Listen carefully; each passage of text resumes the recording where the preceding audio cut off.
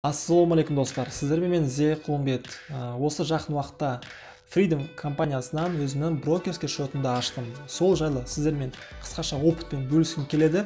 Алдыда видеоларда қалай пополнение жасадым акцияны қалай сатып аламыз деген секілді сұрақтарыңызға басқа видеода жауап беремін. Так что егер сұрақтарыңыз қосымша болып жатса осы видеоның астына өздеріңіздің сұрақтарыңызды жазып отырыңыздар. Және лайктарыңызды басып каналыма тіркеліп отырыңыздар.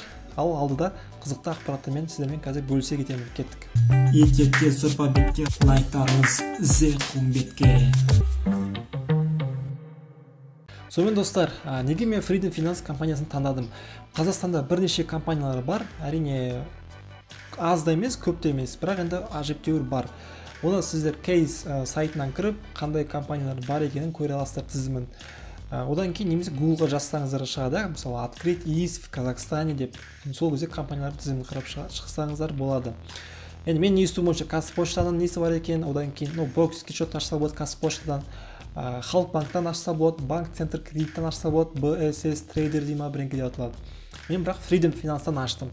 Ә, былай айтқанда мен көп ақпарат іздеп шықтым. Ең тиімдісі менің ойымша және де басқа адамдардың ойынша примерно 80% адамдардың ойынша freedom финанс новичоктарға жақсы келеді. Әрине freedom финанстың тағы бір компаниясы бар freedom 24 деген. Бірақ ол ә, freedom 24 енді слишком қарапайым жасалған. Сол freedom компаниясының несіне кіреді? Компаниясына то есть компаниясының компаниясына кіреді. Ол жақта енді кішкене розничный бағалар. То есть сіздер трейдер нет. Ә, трейдер неттен регистрация жасап сол жақтан акция сатып алсаңыз ол жақта арзанырақ болады да. Ал freedom 24-тен чуть чуть қымбатырақ болады. Так что егер сіздер кәдімгі кішкене профессионально түрде ә, акция сатып ал- аламын десеңіздер онда лучше сіздерге трейдер нет керек болады. Ал былай енді жай қарапайым новичоктарға көп былай не істегісі келмейтін ары бері шұқылағысы келмейтіндерге просто ә, freedom 24-тен ә, алсаңыздар болады. Регистрацияға келейік. Регистрация бәрі қарапайым достар ешқандай бір қиындығы жоқ. Ссылкамен мен ссылкасын астына қоямын. Ссылкамен өтіп регистрация бәрін жасайсыздар удостоверениеңіз керек өзіңіздің адресіңізді жазасыздар кәсіби ә, банктік айбен счетыңызды жазасыз. Сөйтіп ә, бәрін толтырып болғаннан кейін е, әрине қосымша сұрақтар болып жатса жетпіс бес елу беске хабарласыңыз сол жақтан сіздерге түсіндіріп береді. Әрине бұл жерде сіздер қате жібермеу керексіздер да каждый цифрды қарап анық қанығын асықпай толтырып жазыңыздар. Одан кейін сізге подпись қою керек. Подпись қойған кезде сіздерге не обязательно офиске бару онлайн арқылы қойсаңыздар болады онлайн эцп арқылы қойсаңыз болады. А енді ол подписьті қандай сайт арқылы қоямыз? Е сигнер деген сайт бар. Ол жағын мен тоже дайындап қойдым ссылкасын астына қойып қойдым. Трейдернеттің ссылкасын е сигнер подпись қоятын сайттың ссылкасын астына қойдым. Және де кейстің тоже ссылкасын қоя салайын. Қазақстанның фондық фондовый биржасының тоже официальный сайты кейс деп аталады. Сонда ссылкасын астына қойып қойдым.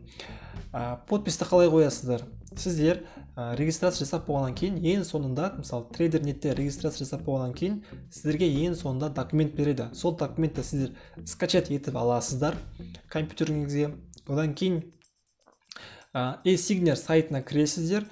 Сол сайтқа сол документті скачать етіп алған документті e сигнерге лақтырасыздар да ецпіңізді сол жақта тоже жазасыздар. То есть ецп ключ болса ә, бір мысалы ецп ключіңіз рабочий столда тұрса сол ецп ключіңізді тоже тауып соған енгізіп ә, ол жақтан уже подпись қоясыз. Енді ол жағы бәрі қарапайым түсіндіріліп жасалған. Әрине қосымша сұрақтарыңыз болып жатса маған хабарласыңыз. Мен сіздерге барынша көмектесуге тырысамын.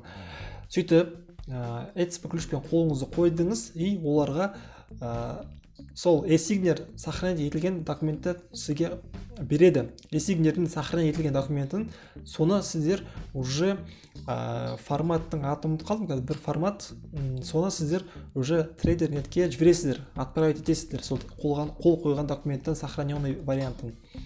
Одан кейін примерно үш күн күтесіздер. Үш күндей күтесіздер и вуаля сіздерде уже счет ашылады.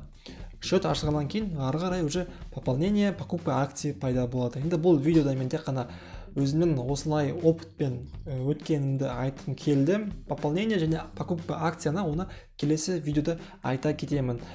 Егер видео пайдалы болса онда лайктарыңызды қойып комментарийға қосымша сұрақтарыңызды жазып отырыңыздар. Сол сұрақтарға байланысты может мен арнайы видео жасап сол сұрақ, сұрақ жауап ретінде ә, видео жасайтын боламын. Так что сұрақтарыңызды қойып отырыңыздар. Каналға тіркелмеген болсаңыздар тіркеліңіздер колокольчикті басыңыздар.